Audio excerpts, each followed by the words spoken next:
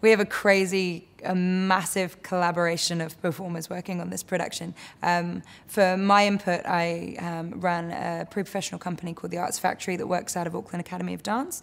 Um, we take our best senior students and um, we put together um, different sets for different events and we're contactable for things like collaborations and music videos and things like that.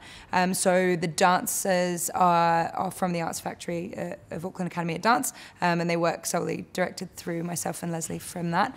Um, we have some kids that we've pulled out of local dance schools. Um, we have an aerialist. Um, she's a professional performer and teaches um, lyra and hammock and silks, I believe, um, Daniela.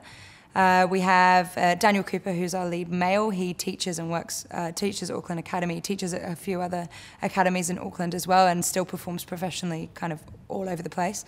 Um, we have Kate Turner, uh, who is a recent gra graduate from Mount Eden Ballet Academy, and she now works there and teaches there as well and performs professionally. Um, we have people from Flip and Fly. So Flip and Fly is where we've got our acrobats and our contortionists from. Um, who we've got? We've got clowns. We get them from uh, just friends of ours in the industry, also the stage company provided us with some actors. Um, so it's really a case of in Auckland, performers are quite well knit. We know each other quite well because the, the pool is so small.